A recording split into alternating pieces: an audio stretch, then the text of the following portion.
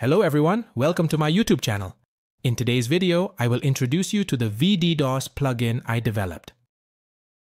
First, let's talk about VDDoS in brief. VDDoS is a WAF and Layer 7 anti-DOS system that works as a second reverse proxy in the Cloudflare background. You can access information about its installation and configuration on the official website vddos.voduy.com. You can perform step-by-step -step installation and configuration with the information on this page. I made the necessary installations on the virtual machine on Hetzner. I configure it as I showed you in order to avoid any mistakes or mistakes when making a proxy. First, let's simulate an attack without installation and observe the result.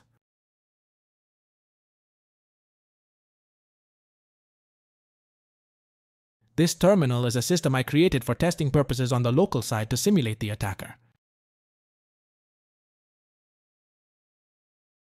When we refresh the page, you can see that it is in JavaScript mode and does not perform any transition action.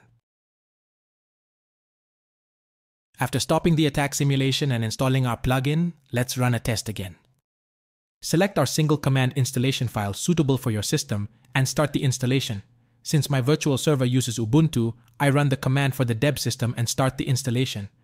After the installation is completed, I run the command with the journalctl f parameter to access the logs can follow instant links from here. Let's start the attack simulation process again and see how active our VDDoS sensor plugin is. Attack detected.